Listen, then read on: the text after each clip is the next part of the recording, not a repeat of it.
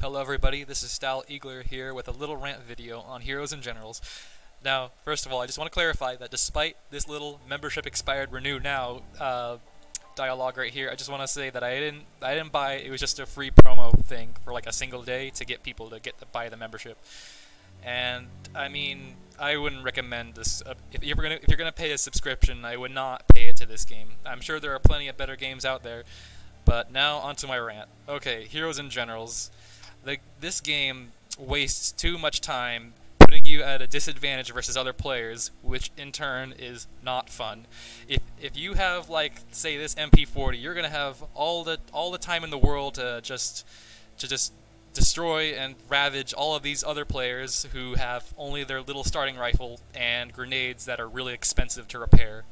And that is pretty much um, what I said about the latter part. The having this crappy rifle and these expensive grenades goes to anybody who decides to download this free game and play it. They are not going to have any fun.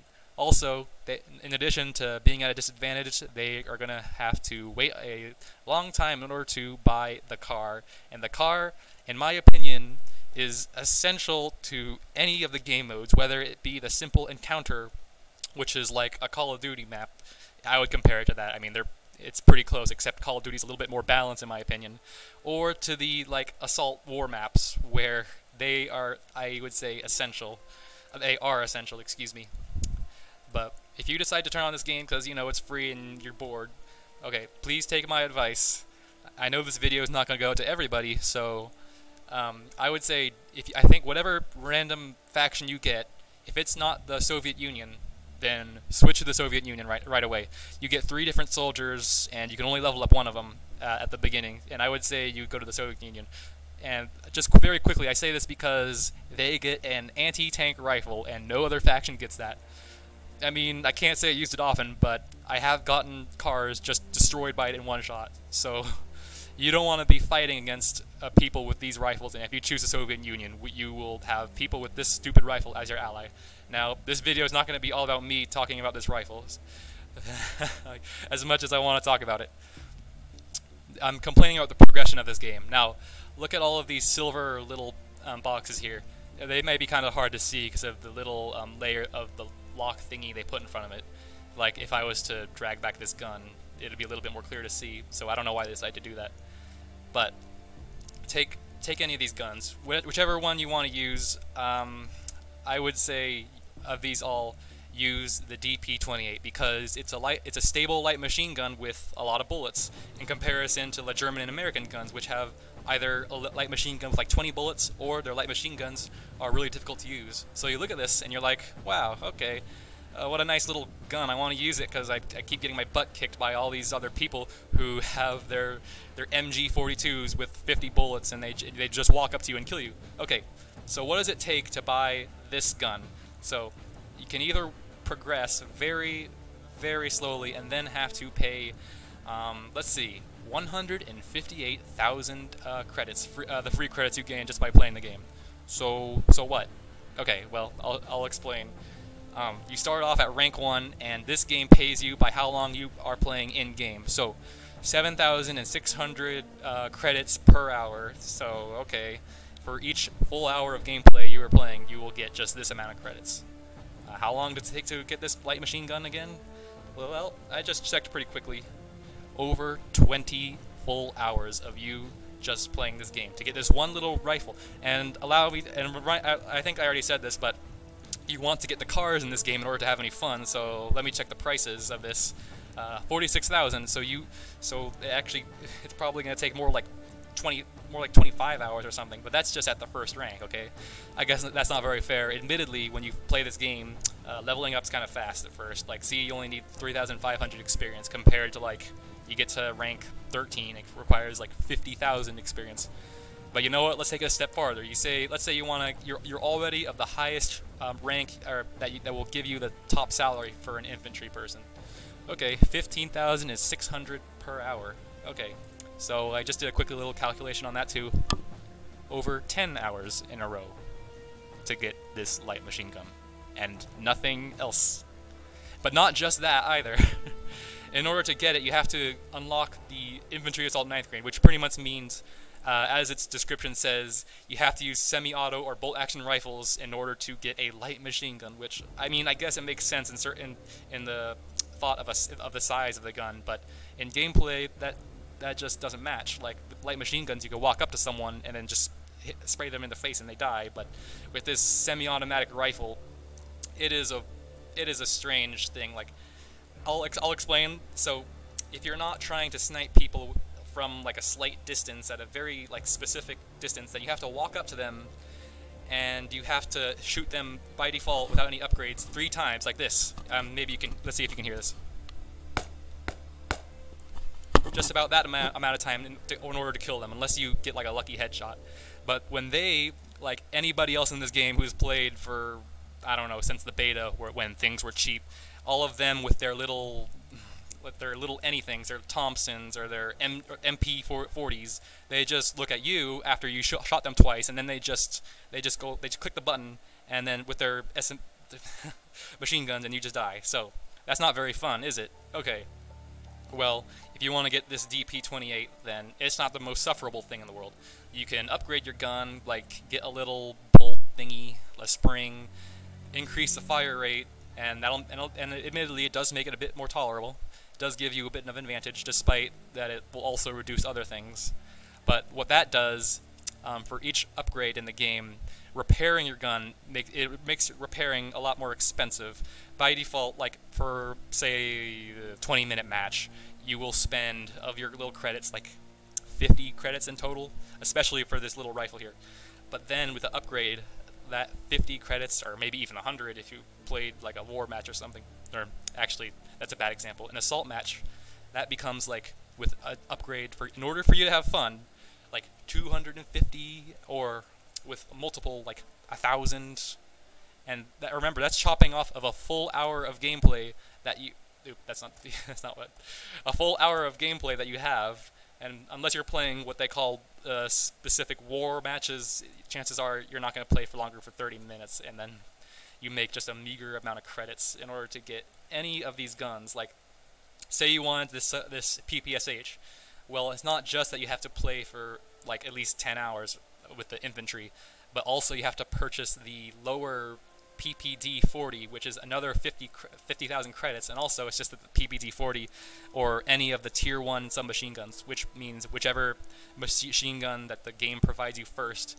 They are they are specifically nerfed, so you have to the, fire rate is just like it's like this in comparison to like da da da da da da with um, any of the later rifle these submachine guns.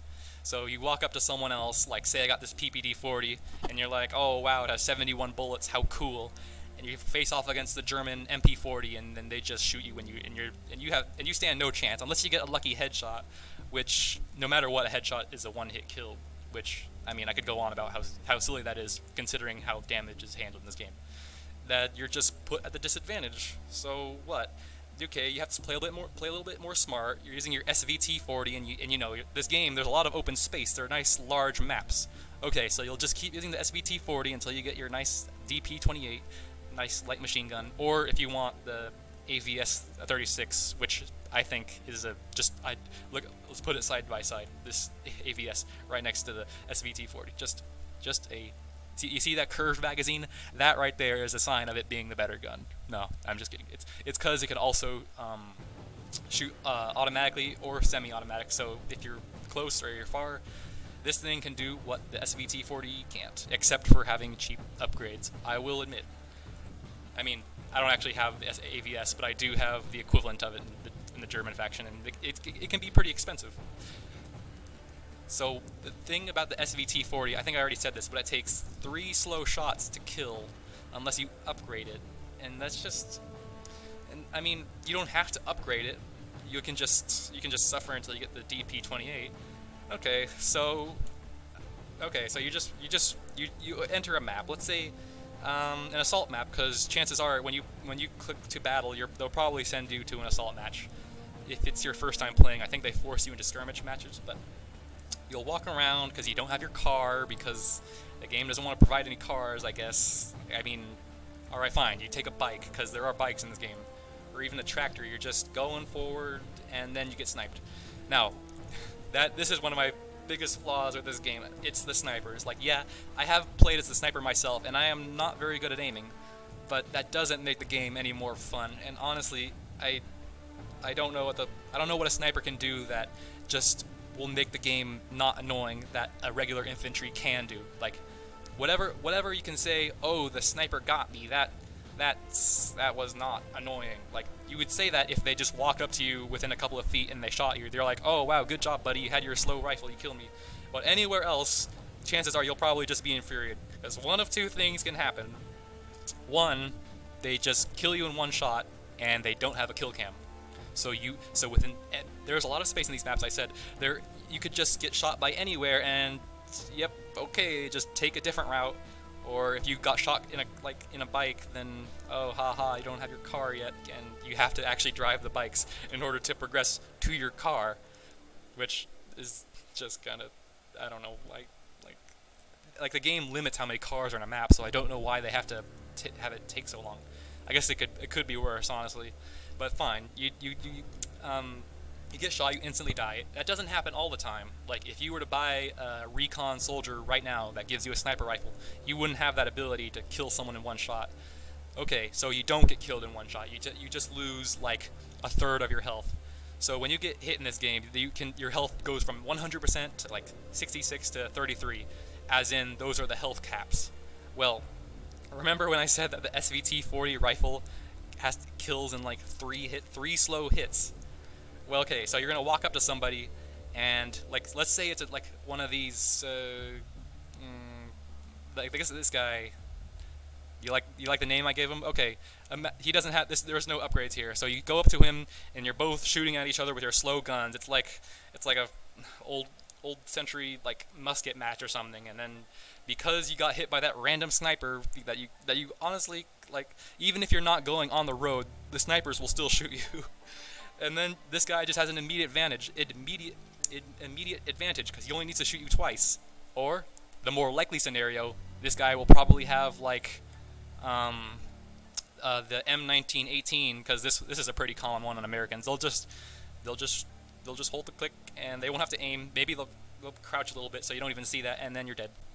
Okay, and if, it, if it's not that, another common one is the Thompson M. Uh, it's just the Thompson. That's what I call it and then you don't even stand a chance then. Okay, so that's pretty much how this game goes, and I mean, I, I don't even need to show any footage because it's infuriating enough. And actually, you know what? How long has this video been going on for? Um, 12 minutes? Alright, well you know what? This game isn't all just playing as the infantry. You can play as a tank as a matter of fact, it's guaranteed with, even within a couple of skirmish matches, which is basically the first kind of match the game will send you into. You will see these tankmen. Oh boy, let's see how similar this is to the sniper. So you're just going forth, and then they just shoot you randomly, like a, like a machine gun. Just like a heavy machine gun just shoots you and you die.